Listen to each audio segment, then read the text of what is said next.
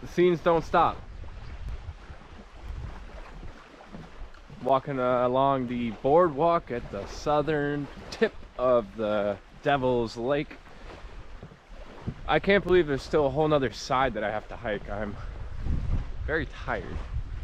Obviously, I'm gonna push through.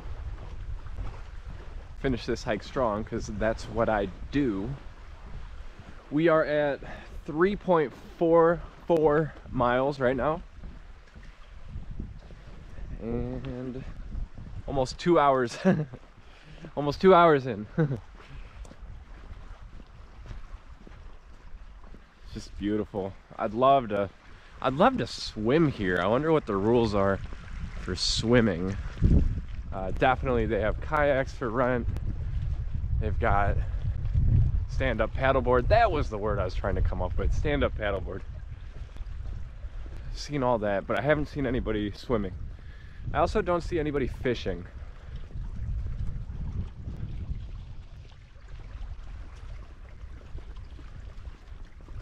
Well, this is a nice, smooth, level path that I'm on now. It's a nice break from all the crazy rocks that I was going up and down.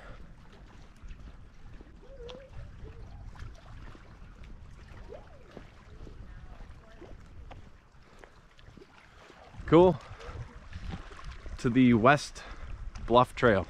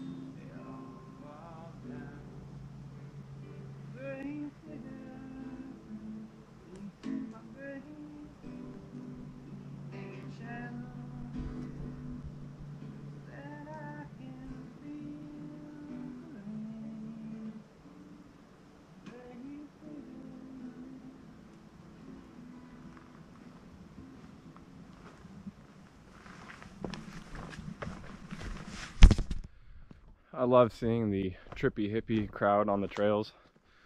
Just past someone, you know, girls got face tats, past another group of people.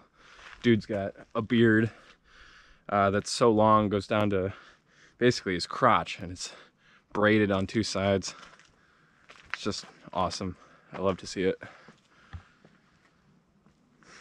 This is the West Bluff Trail at Devil's Lake and even though it's hard a lot of up and down difficult uh, it's worthwhile. I'm glad I did both the east and west bluff trails. Because uh, you know these trails put you above the birds. And uh, there's a there's a message in that there's a lesson in that. It's symbolic in some way. Anyways Great place, great hike.